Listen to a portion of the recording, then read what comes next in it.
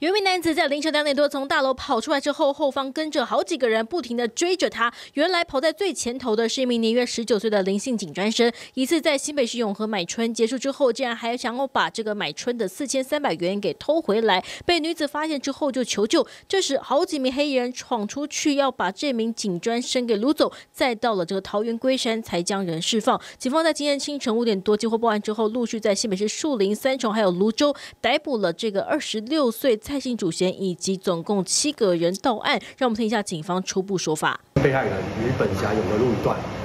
遭五名男子殴打并拘束人身之经调查系因性交易纠纷所引起。本案已报请新北地检指挥，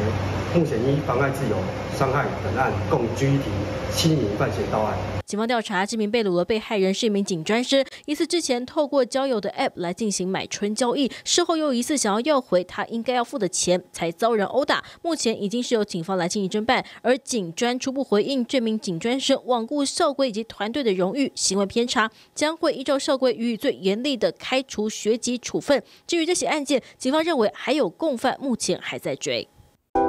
想看最完整的新闻内容，记得下载 TVBS 新闻网 APP。